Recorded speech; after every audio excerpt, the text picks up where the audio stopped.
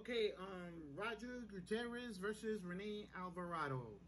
Um, you know what I'm saying? Um, uh, it, it, was a close fight. It was a close fight. You could you could have swung left and right on that one. You know what I'm saying? But the, the problem here was when you put it when you make it a close fight, the guy usually the guy with the title wins the fight. You gotta understand that. If it's close, you don't take the you don't take it from him if anybody understand, you don't make it convincingly to take it, it's going to go to the champion. That's how they do it. You know what I'm saying? Oh, somebody got put on their ass. so I looked over there, seen him hit the floor.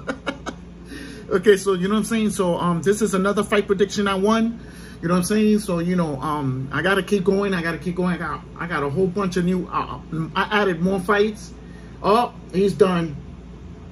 One more knockdown in the fight is over. This, this is the second fight that is going to finish in the first round. Okay, anyway.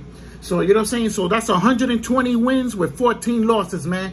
Now, you know, keep raking this in, y'all losers. I'm going to keep raking it in. Thumbs up, thumbs down. Don't forget to subscribe.